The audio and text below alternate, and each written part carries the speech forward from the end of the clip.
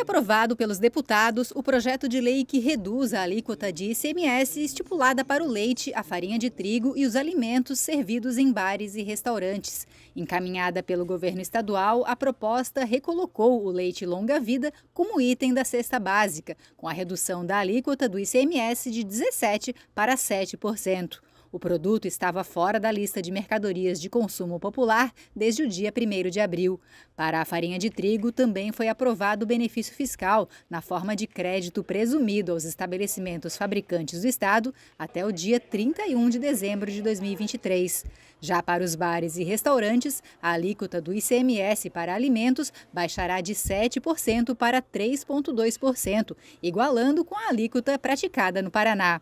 Nas bebidas classificadas como quentes, como é o caso do uísque, a alíquota não mudou. A Assembleia, juntamente com o governo, com os setores, avançou no diálogo e essa tarde entrega resultados concretos para a população catarinense de redução de impostos. Alguns itens não foi possível, deve ainda continuar o, o debate no, no momento mais apropriado, mas a Assembleia cumpre o seu papel como órgão de articulação e também de, de decisão.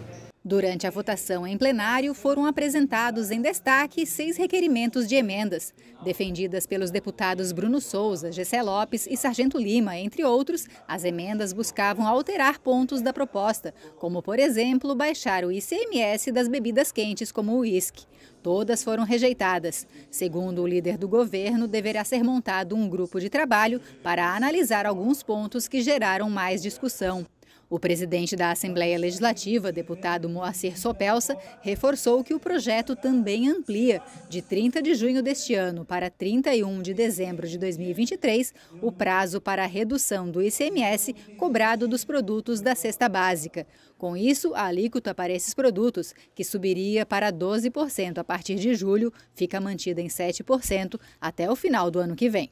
Sairiam da cesta básica produtos como farinha de trigo, farinha de milho, massas, alimentos, é que sairiam, o pão francês sairia da cesta básica, o feijão, o arroz sairia da cesta básica, em junho agora, e passaria de, de 7% para 12%.